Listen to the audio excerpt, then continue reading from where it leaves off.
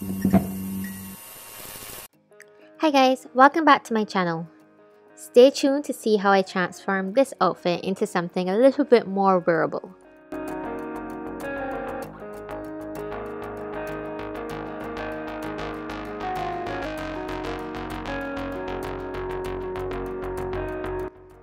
So I started off by separating the front and the back of the dress.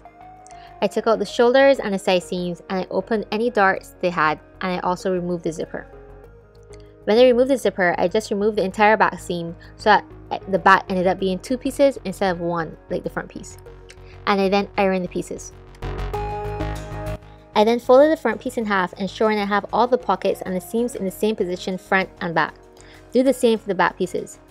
If you haven't watched my 70s wide-legged jeans video yet, then hop on over to that and check it out. I just used the same pattern that I used in that video for this video. No adjustments. So I got that pattern and I pretty much just cut it out as it is.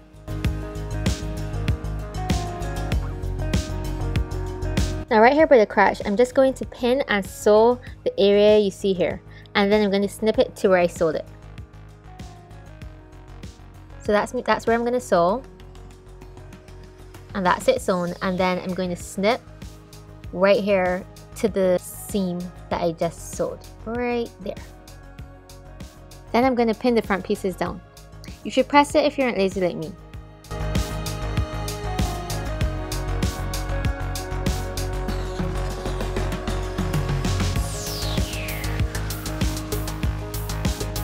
So as you see here, it should lay like this without any spaces. Now I'm going to get that left side piece and take out the pins and ease it out by a quarter of an inch so that the left side goes under the right side a little bit. Now put back in the pins.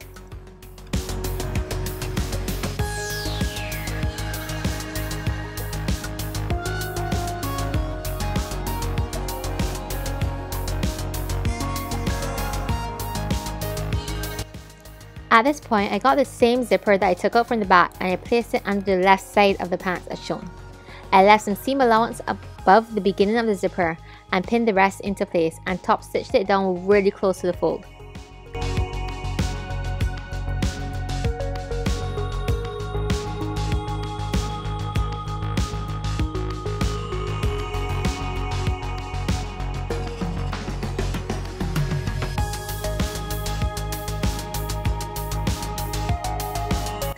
Then I put the right side down flat and I pinned it over the left side.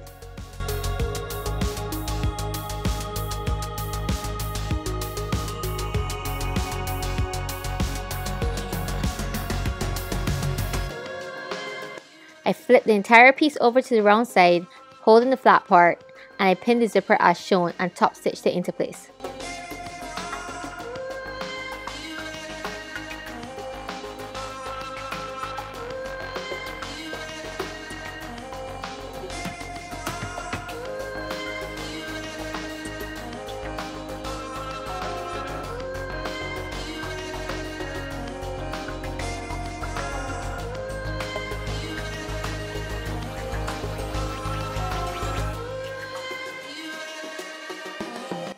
Working now with the back of the pants, I pinned and sewed the entire back seam.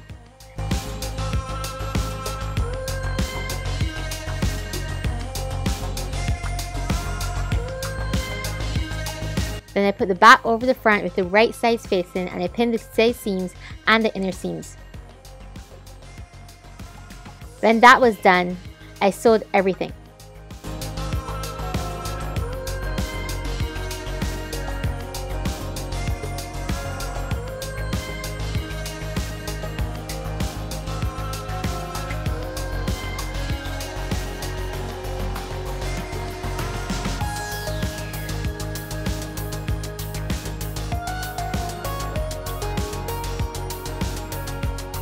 Now I didn't have enough fabric left on the dress for the waistband, so I got the jacket part of the outfit and I cut off the bottom of it.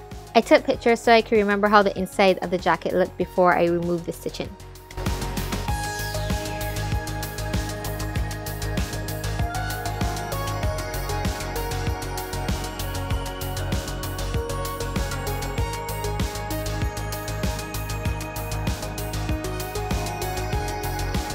I cut a strip of fabric the measurement of my waist and 3 inches high.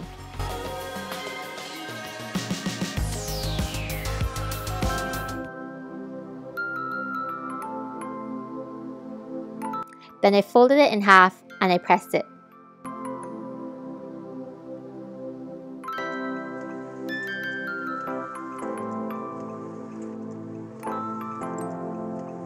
I attached it like you do a normal waistband. Some of my stitches didn't catch in the waistband fold, so that's why you're going to see pins here. I just ended up slip stitching those areas.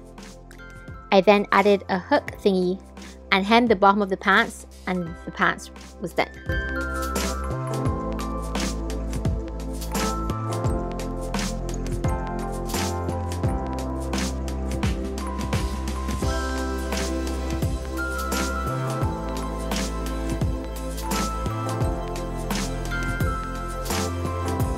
Alright, so onto the top. This is literally the laziest way to take in a jacket without removing the sleeves and having to adjust the armhole and the side seams and all that jazz. I literally do two big pleat tuck thingies along each side of the jacket and that's it. I did it at the shoulder and I smoothed it down to the hem at the front. Then I took it off and I pinned the back.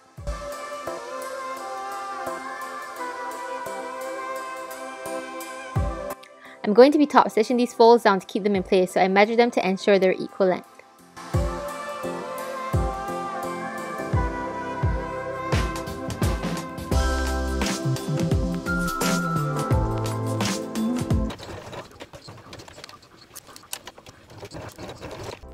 This is how it looks.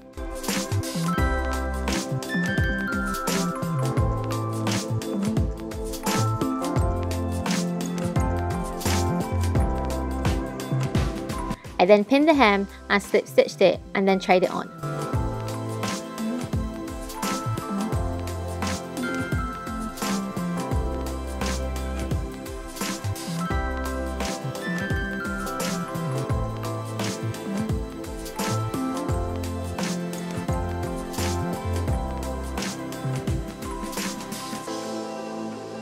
I got the cuff part of the sleeve and I got a piece of elastic the measurement of above my elbow and I scooted it in the space in the cuff to create a puff look.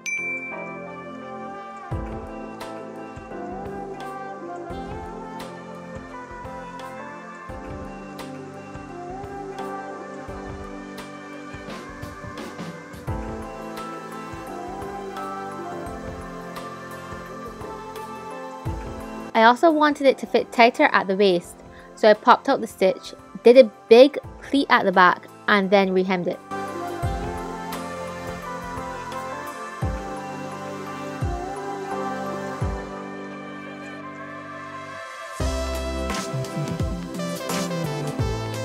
This is how the puff sleeve looked. I don't know if I like it though. Danny and my mom prefers it to the oversized wide sleeve look, but I think the wide sleeve looks more European. So tell me which side you prefer in the comments.